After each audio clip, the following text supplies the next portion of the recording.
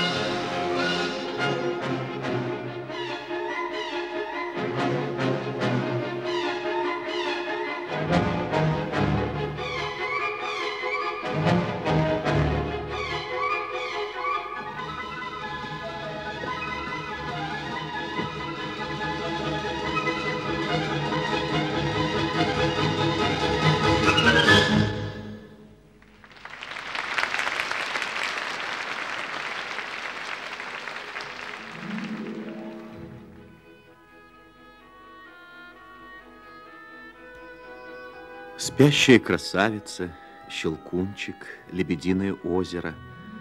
Эти три балета были созданы Чайковским в разные периоды жизни. Они не похожи друг на друга, но вместе с тем близки в главном. В самом подходе к жанру танцевально-сценической музыки, связующей их в единую трилогию, теме ожидания, поиска счастья, в победе добра – над силами зла.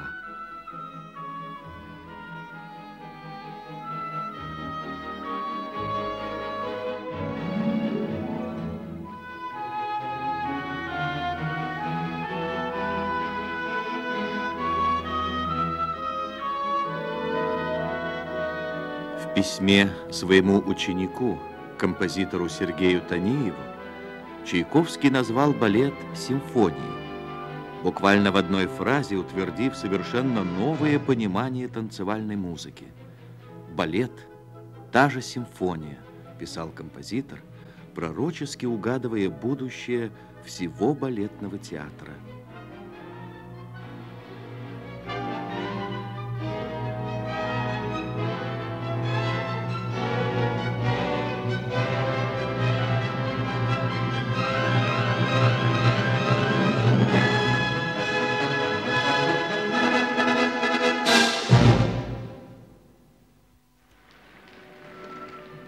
балетной музыке Чайковский обратился не случайно. «Я давно хотел попробовать себя в этом роде музыки», писал он римскому Корсакову в период создания «Лебединого озера».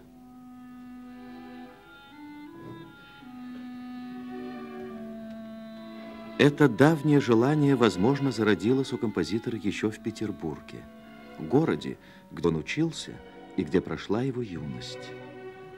Там он впервые познакомился с балетом, частенько посещал знаменитый Мариинский театр. Друзья композитора свидетельствовали, что он недурно разбирался в танцевальной технике, а из балетов предпочитал балеты сказочные, фантастические, с полетами, чудесами и волшебными превращениями.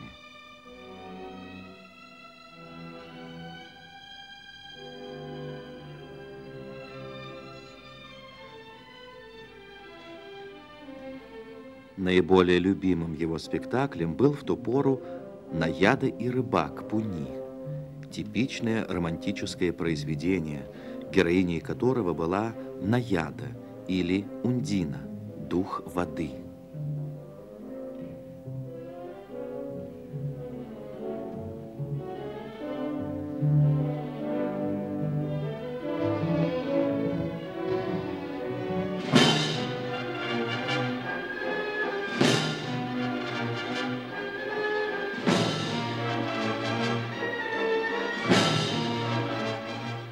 Отголоски этого балета мы сегодня явственно различаем в «Лебедином озере», первом балетном сочинении Чайковского.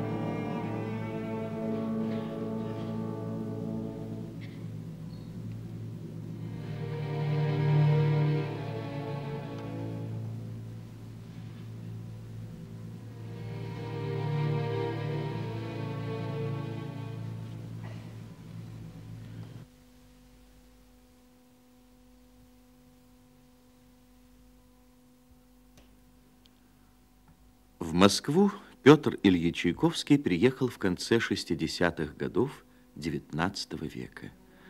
По приглашению Николая Григорьевича Рубинштейна работать в Московской консерватории.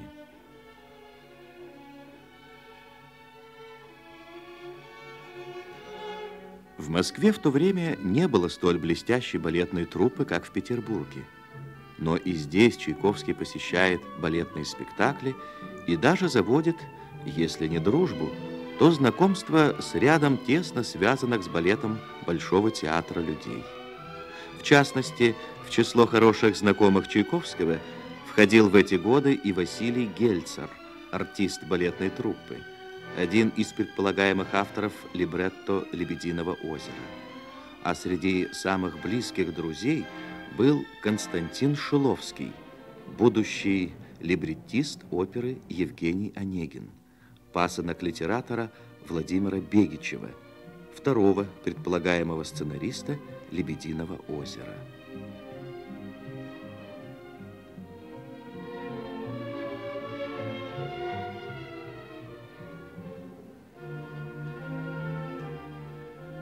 В имении Бегичевых-Шиловских подмосковной деревне Глебово Чайковский и заканчивал «Лебединое озеро». Балет, музыка которого таит в себе очарование среднерусской природы с ее особой атмосферой элегического характера лирики, с ее чистой, овеянной мудрым покоем, красотой.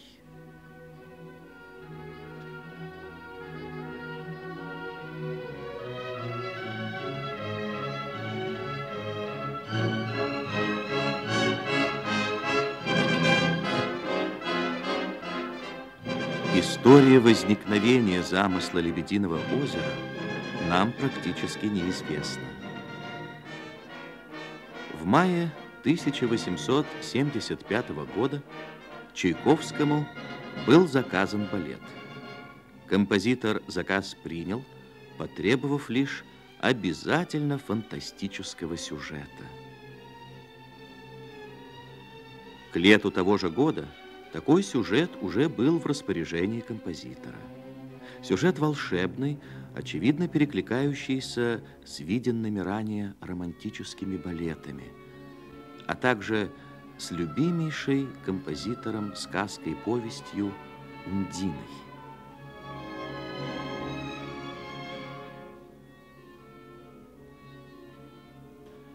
Сравнительно незадолго до сочинения «Лебединого озера» Чайковским была написана опера «Ундина», но композитор уничтожил партитуру, а часть музыки использовал в балете.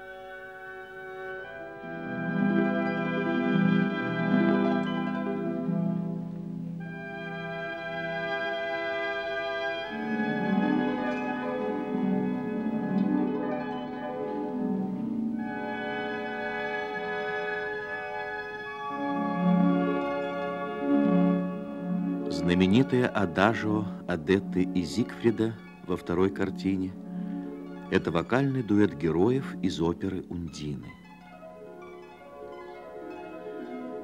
Чайковский, вероятно, не случайно включил эту музыку в балет.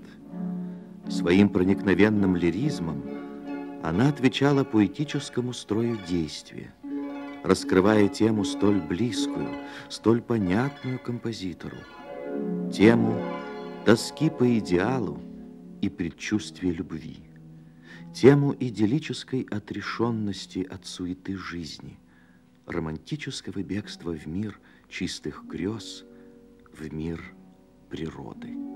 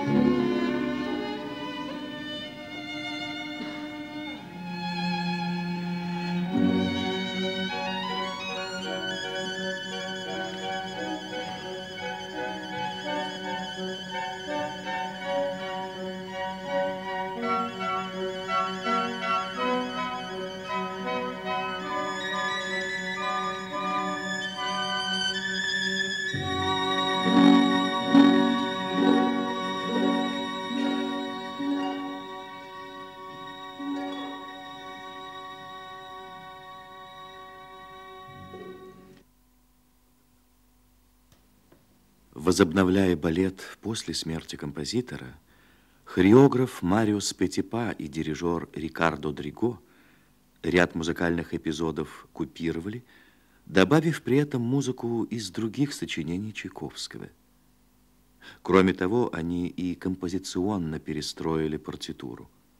Так, в финальной партитуре было в другом акте знаменитое «ПДД Адилии и Зигфрида», великолепно поставленное Петипа в полном соответствии сюжетным смыслом сцены соблазнения, искушение принца, борьба сил коварства и зла за его душу.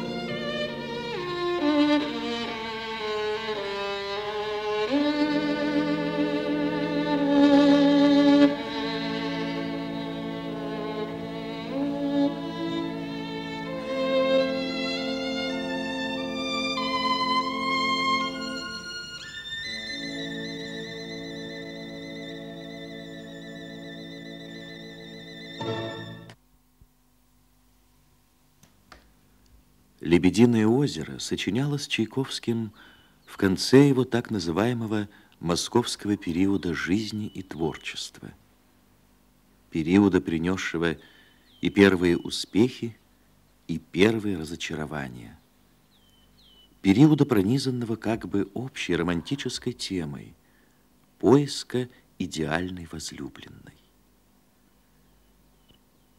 Обращаясь к новому для себя роду музыки, Чайковский развивал в нем свои излюбленные мотивы, создавая тем самым самостоятельное симфоническое произведение, лирико-философскую поэму в жанре танцевальной музыки.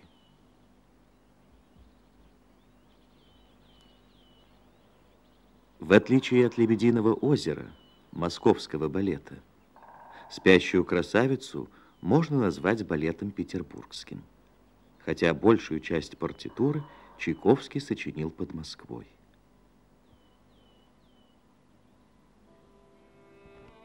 Но «Спящая красавица» создавалась для Мариинского театра, для столичного зрителя, в содружестве с петербургским хореографом Мариусом Петипа. Работа над «Спящей красавицей» была лишена случайностей. Петипа составил подробный хореографический план действия – и неоднократно встречался с Чайковским, помогая ему, когда это было нужно, по части чисто специальных профессиональных вопросов. Петипа гордился союзом с Чайковским, сознавая, что балет на музыку крупнейшего композитора России способен увенчать всю его многолетнюю карьеру хореографа.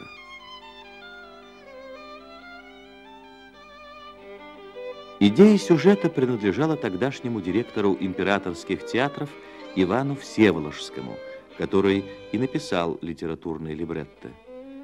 Сюжет пришелся по душе композитору, который в процессе сочинения музыки неоднократно писал друзьям, что самый сюжет столь благодарен для музыки, что он предчувствует блестящую будущность своего нового творения, которое, замечал Чайковский, может стать одним из лучших его созданий.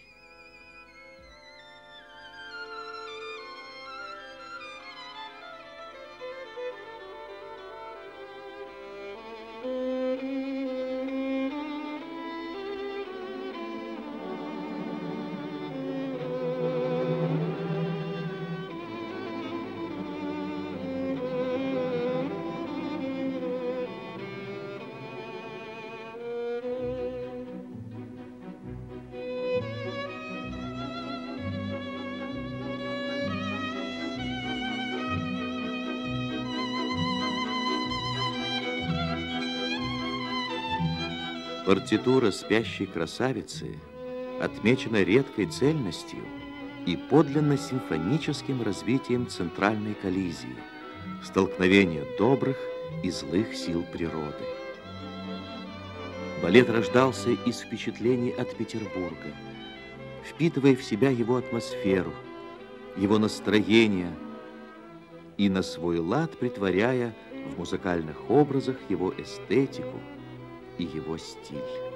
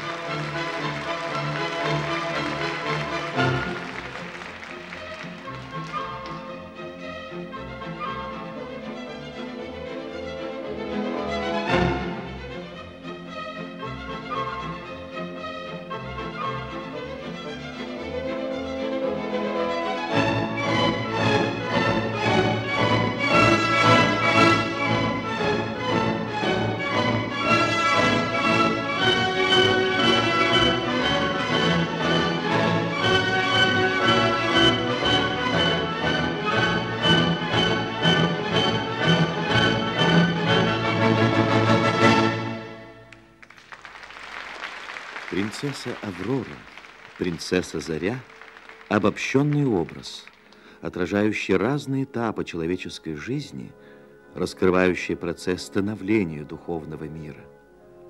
Но вместе с тем, создавая обобщенный образ, рисуя обобщенную судьбу, Чайковский оказывался тонким психологом, передавая в музыке все богатство эмоциональных переживаний, что рождаются в человеческой душе. Чайковский своеобразно построил балет. У каждого из четырех действий своя музыкальная кульминация, свой центр. Большое адажио, определяющий этап в развитии образа принцессы Авроры.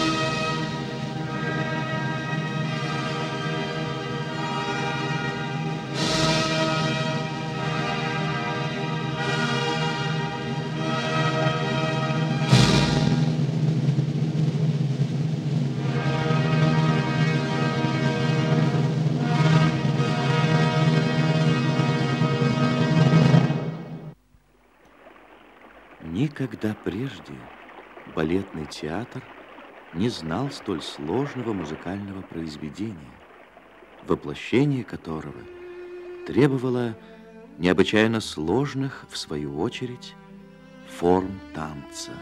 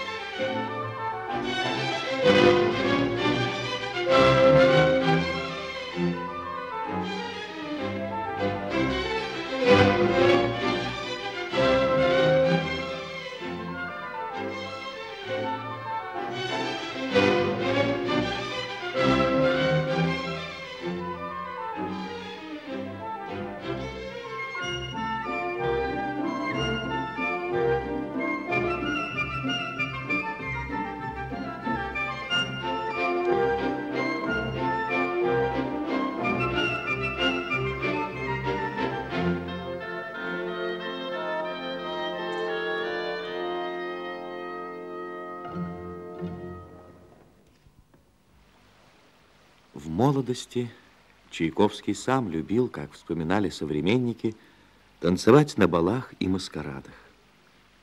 И не случайно танцевальное начало вообще было свойственно его музыке. Даже в симфониях он не отказывался от танцевальных ритмов и форм. В высоком смысле слова балетное начало пронизывало все творчество Чайковского, за что его иные коллеги корили, но он их увещеванием не внимал, считая, что сама форма танца демократичнее по своей сути, помогает композитору обрести доверие у широкого круга слушателей.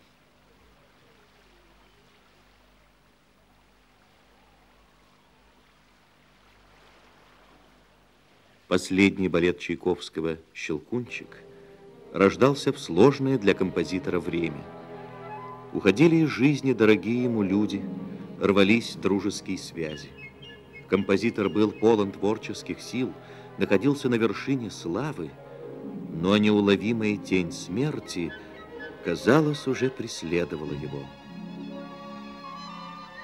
Сказку Гофмана «Щелкунчик» Чайковский прочитал за несколько лет до написания балета.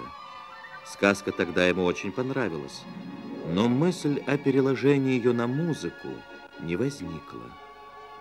«Щелкунчик» — одно из последних сочинений композитора, появившееся между такими его шедеврами, как «Пиковая дама» и «Шестая патетическая симфония».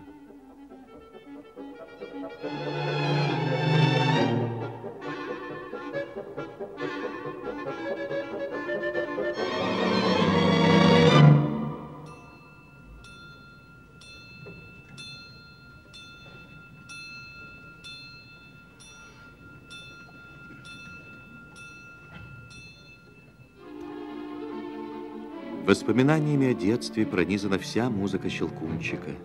Это было словно возвращение в золотую его пору, в мир счастливый и безмятежный, не знавший еще тревог, сомнений и страданий. Чайковский всю жизнь хранил в себе воспоминания о Воткинске, где прошло его детство, о семье, в которой царили покой и дружба. Щелкунчик рождался из детских впечатлений композитора – но вместе с тем, не ограничиваясь ими, отражал его мысли о быстротекущей жизни, в буднях которой важно не упустить чувство прекрасного и веру в идеал, что определяют, собственно, подлинно нравственное отношение человека к миру.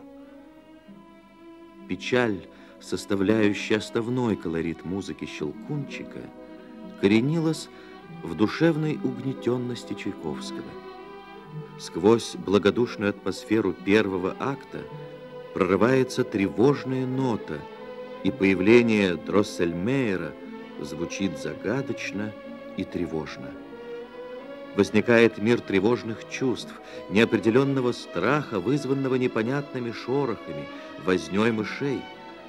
Спасая от зловещих полчищ мышиного короля, подаренную ей уродливую куклу – в борьбе за околдованную, заключенную в оболочку куклы, живую человеческую душу, во внутреннем мире героини совершается перелом.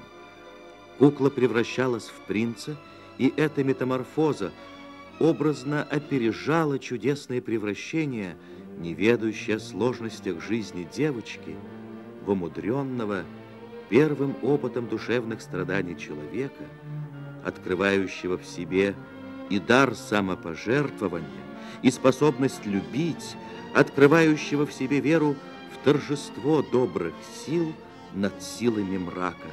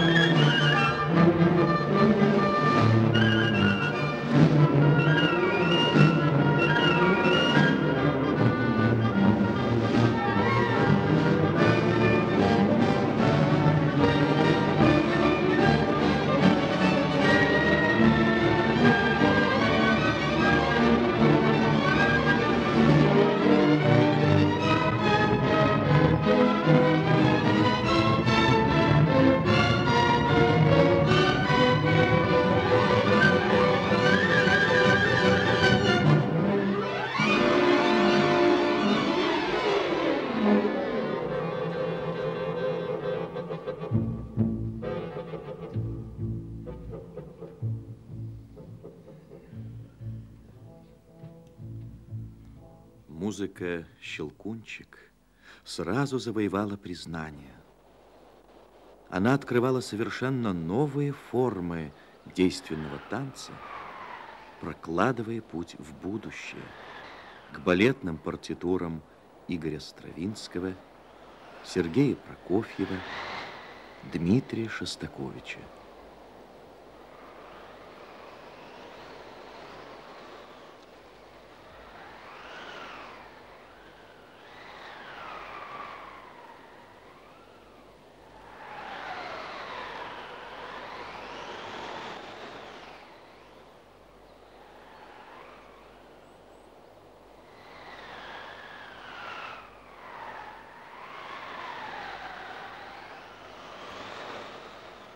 Щелкунчик по праву может считаться балетом, который стоит у истоков балетного театра нашего времени, театра, созданного гением Чайковского.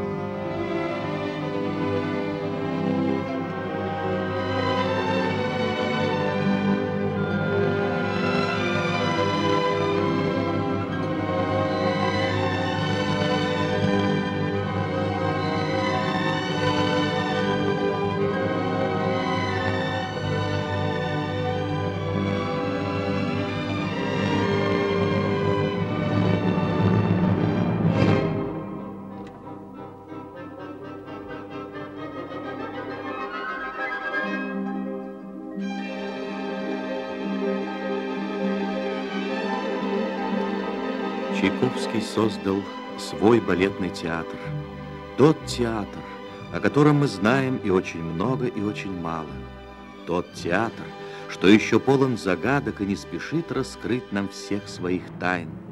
Тот театр, в освоении которого нами накоплен огромный опыт, но который еще подарит нам немало великолепных открытий.